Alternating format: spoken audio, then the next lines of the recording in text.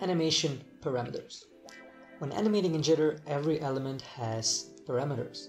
Some elements have specific parameters like text or shapes, or some animation types have specific parameters, but every single element has two basic parameters, which are duration and easing.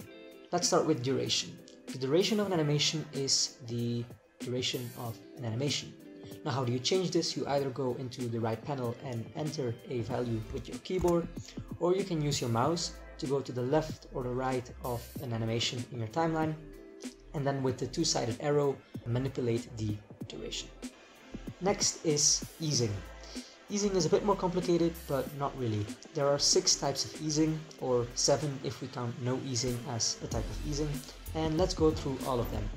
No easing means that there is not a specific speed curve applied. So the animation is evenly distributed over the duration that we apply to it.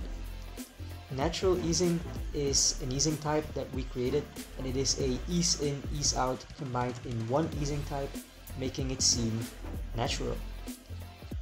Slowdown is an easing type where the animation starts fairly fast and slows down towards the end of the animation.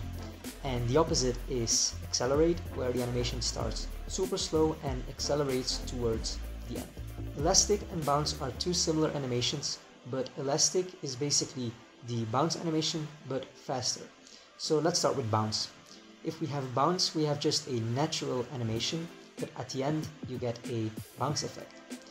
With elastic animation, you have the bounce effect in the beginning and then it fades out towards the end.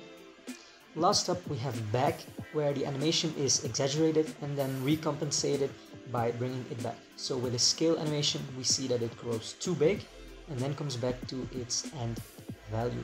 In the next couple videos we will cover specific animation parameters for text and every shape. If you have any more questions, put it in the comments and we will respond as soon as possible.